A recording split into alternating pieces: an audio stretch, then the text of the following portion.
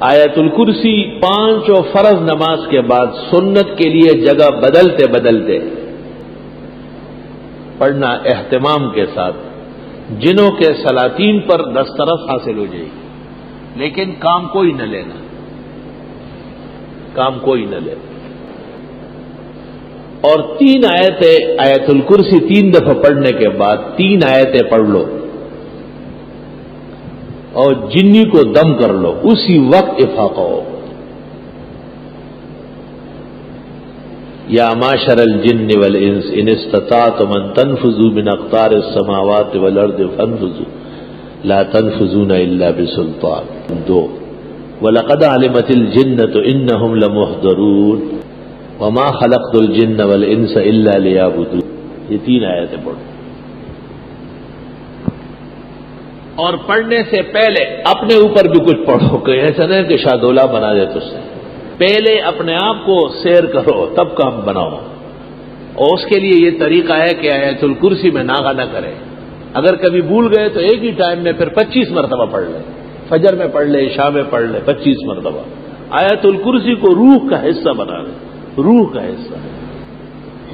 مجھے پتہ نہیں تھا میں ایک جنی کو دیکھنے گیا۔ تو جب اٹھنے لگا تو کرسی میرے ساتھ اٹھتی تھی۔ کرسی باندھ لی میرے ساتھ۔ کچا عامل نقصان کرتا۔ آپ کو بھی نصیحت اللہ ولی رسولی وفی سال ہے امر کو کثرت سے آیت الکرسی پڑھا دو خاص کر نمازوں کے آگے پیچھے۔ سنا ہے کہ کم از کم دس مرتبہ روزانہ ہونا چاہیے۔ اور سو مرتبہ تو پھر تو آپ کو وہ حاکم الجن مانے۔ اپنا بادشاہ مانتے۔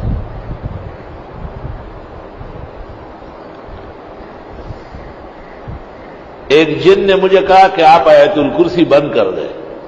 ہم سب کچھ آپ کا کر لیں گے۔ میں نے کہا میں لانت بیچتا ہوں۔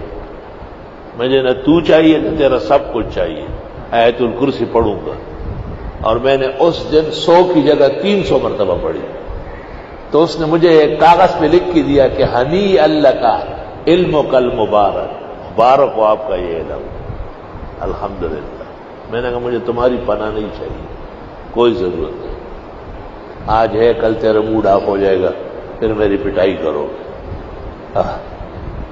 آیت الکرسی مختلف اکابر علماء اور اولیاء مختلف تدابیر کے ساتھ پڑھتے تھے۔ آ حضرت صلی اللہ علیہ وسلم نے بھی بعد الفرض، بعد السلاد پڑھنے کو فرمایا ہے۔ کہتے دنیا کی زندگی عزت سے اور بوقت موت، آرام و راحت اور قبر میں نجات عذاب قبر سے ہو جاتی ہے۔ بشرطی کی ہر نماز کے بعد ایک مرتبہ پڑھے۔ شمس الحمن نے مفسوط میں کہا ہے اور کاسانی نے بدائی میں اور ابن الجیم نے بہر میں اور ابن الحمام نے فتح القدیر میں اور محدث بنوری نے معارف السنن میں۔ کہ جن فرائض کے بعد سنن ہے جیسے زہر مغرب شاہ وہاں یا تو سنتوں کے لیے جگہ بدلتے بدلتے اس کو پڑھ لے۔ اور یا یہ کہ سنتوں سے فراخ پر پڑھ لے۔ اور جن نمازوں کے بعد سنن نہیں ہے جیسے فجر و اثر بے شک وہاں آپ نماز کے بعد پڑھیں۔ اس عاجز اور فقیر اور نابکارہ کا یہ اعتقاد ہے کہ ادائے سنت کے لیے تو یہی کافی ہے۔ البتہ مختلف فوائد و برکات کے حصول کے لیے اس کی تعداد بڑھا دی جائے۔ ہر نماز کے بعد تین مرتبہ اور اگر صبح اور شام پڑھنا ہو تو پچیس مرتبہ۔ عمر بھر کے لیے جنی شیطان آپ کا کچھ بگاڑے گا نہیں۔ بلکہ ہاتھ جوڑ کر آپ کے سامنے خدمت کے لیے کھڑا ہو۔ ناغا نہ کرے، بس ناغا بڑا خطرناک ہے۔ بزرگان دین کہتے ہیں، ہر شخص وظیفے سے فضا میں اوڑ سکتا ہے، لیکن افسوس کہ وہ ناغے کا شکار ہو جاتا ہے بخاری شریف میں ہے، رسول اللہ صلی اللہ علیہ وسلم نے صدقات کے اوپر ابو حریرہ کو مقرر کیا، ذرا خیال رکھنا۔ وہ کھجورے گڑتی تھی۔ آپ نے کہا، آدمی تو آ رہا ہے، لے جا رہا ہے۔ تب وہ رہے تھے، رات کو چوکیدارہ کیا۔ تو ایک آدمی آیا اور وہ کھجورے اٹھانے لگے تب وہ رہے نے پکڑ لیا اسے۔ آقا مانتا ہوں درخت کے اور پلر کے ساتھ، ستون کے ساتھ۔ اور مدینہ کے بچے صبح تم سے کھیلیں گے۔ اس نے کہا، پیغمبر رحمت اللہ ہے۔ معاف کر دیں گے۔ تو ہی معاف کر بے عزتی سے بچا۔ میں تمہیں علاج بتاتا ہوں۔ یہ ایت الکرسی پڑی جائے تو پھر اس جگہ ہم آ نہیں سکتے۔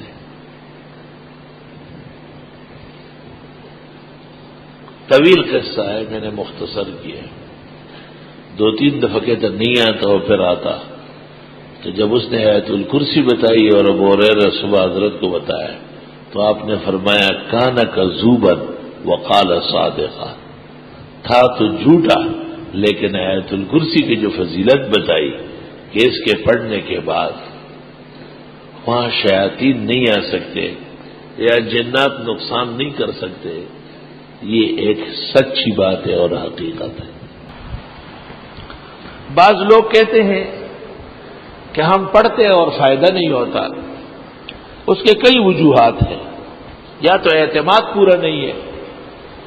ہندو اور سکھ کتابیں چاپتے ہیں تو ان کو فائدہ تھوڑا ہی ہو رہا ہے منافقین آیات پڑھتے تھے تو انہیں کیا فیض تھا۔ اور یا یہ کہ وہ طریقہ نہیں جانتے۔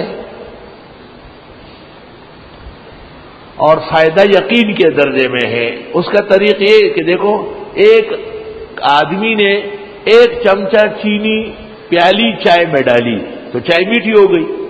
لیکن اگر وہ ایک چمچہ چینی پورے پتیلے میں ڈالے تو میٹھی ہوگی۔ اگر ایک کپ دودھ آپ دو کپوں میں ڈالے تو نظر آئے گا۔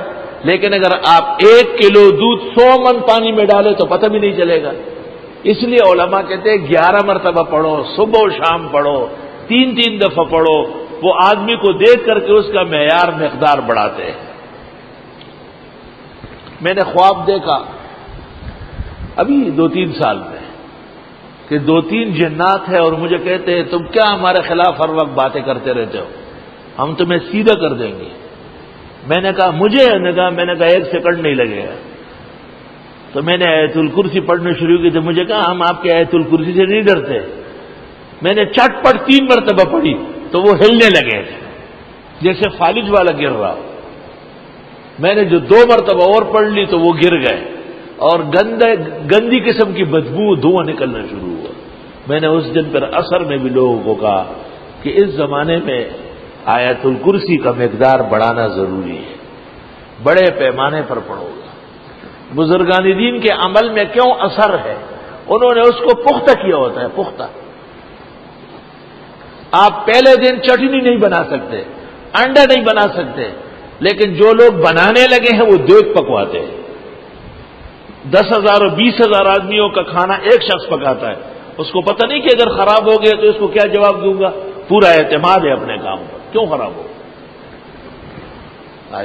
یہ کہ آیت الکرسی پڑھنے کے بعد زمین سے آسمان تک فولاد کا قلعہ بنتا ہے۔ اور اس میں یہ غیبی مخلوقات نظر نہ آنے والے راہ اور یہ دوسری کائنات مفسدین یہ داخل نہیں ہو سکتے۔ احادیث مبارکہ سے پتہ چلتا ہے کہ کسی نہ کسی نماز کے ساتھ آیت الکرسی پڑھنا چاہیے۔ اس عاجز اور فقیر پر تسلسل حیات کے ساتھ یہ واضح ہوا ہے کہ کم از کم پچیس مرتبہ روزانہ آدمی آیت الکرسی پڑھے۔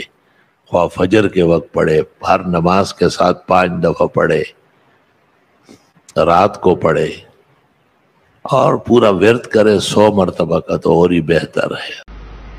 اور جب ضرورت شدید ہو تو پانچ دفعہ پڑھے۔ موجودہ دور میں حالات ابتر ہے، موسم خراب ہے، شہری آلودگی ہے۔ نیک لوگ اور اہل حق نشانے پر ہے اس لیے یہ عجز اور فقیر نے طلباء سے کہا ہے کہ سینکڑوں مرتبہ پڑھے۔ سینکڑوں مرتبہ روزانہ۔ کسی عمل پر تب قدرت حاصل ہوگی کہ آپ ناغا نہ کریں۔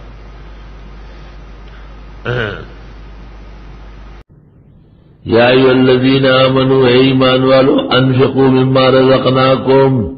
خرچ کر لو اس مال میں سے جو ہم نے تمہیں دیا ہے۔ سو آیات میں توحید خداوندی کا مسئلہ تھا۔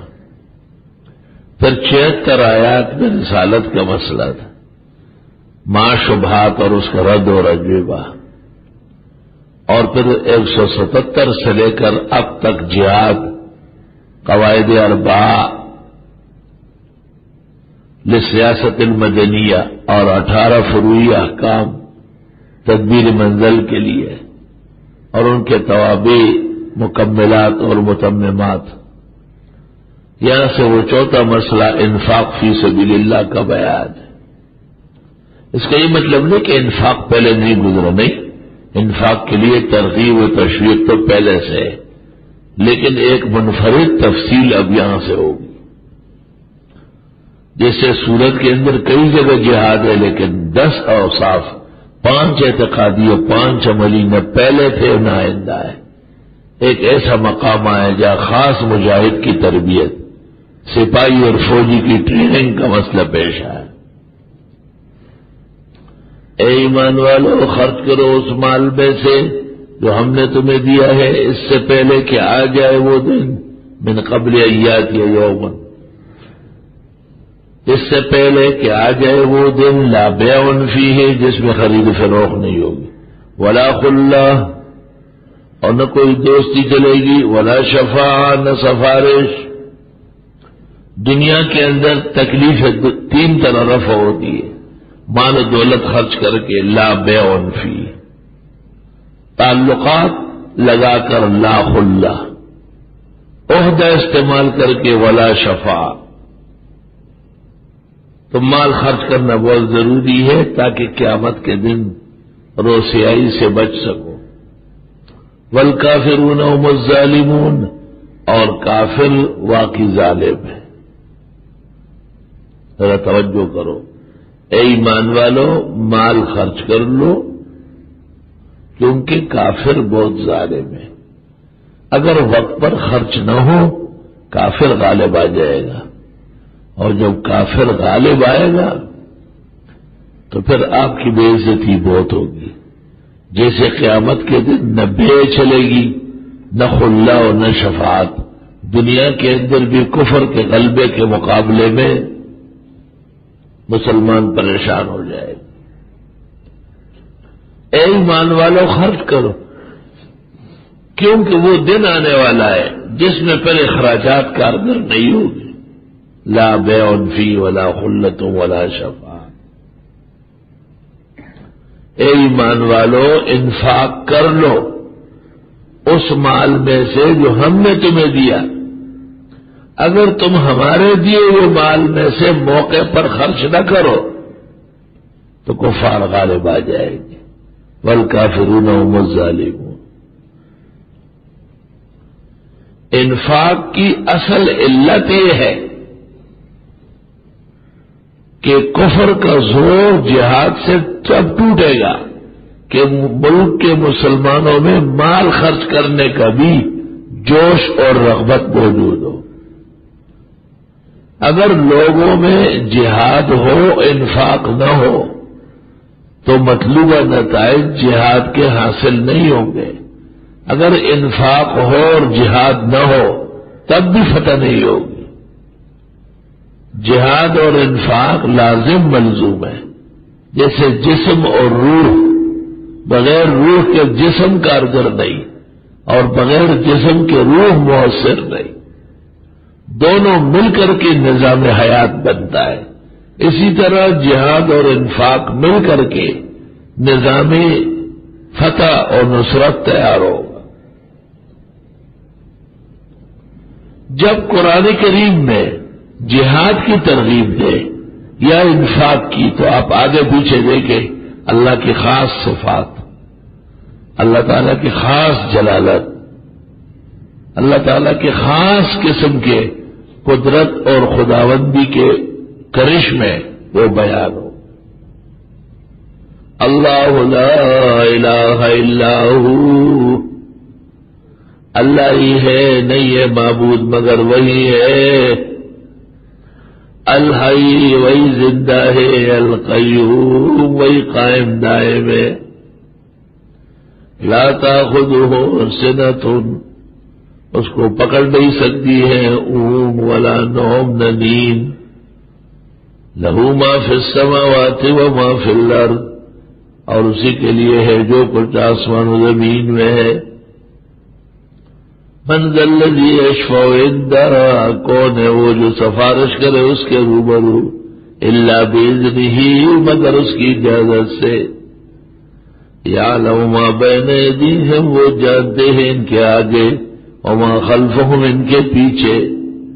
ولا يحيطون بشيء من علمه، اور انہیں گھیر سکتے ہیں کچھ بھی اس کے علم کا۔ اللہ بما شاء مگر وہ جو اللہ چاہے۔ وسع کرسی ہو سماوات والارض۔ وسیع ہے اس کی کرسی آسمان و زمین سے۔ ولا يؤوده حفظهما اور اس کو تکنا نہیں سکتی ہے، گرا نہیں پڑتی ہے حفاظت دونوں کی۔ وہ العلی العظیم اور وہ بزرگ برتر ہے۔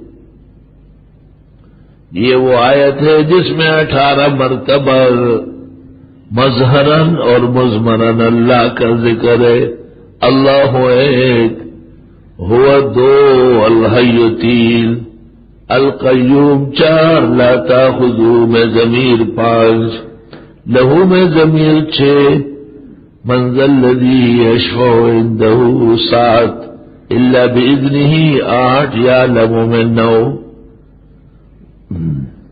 ولا يحيطون بشيء من علمه دس إلا بما شاء گیارہ وسع میں بارہ کرسی ہو تیرہ ولا يعوده چودہ وہ ہوا پندرہ الادی سترہ العظیم اٹھارہ.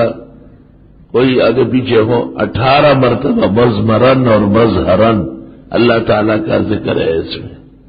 اس لیے اس کو آیت الکرسی اعظم و آیا من القرآن ہے۔ فضل و شرف میں انمول ہے۔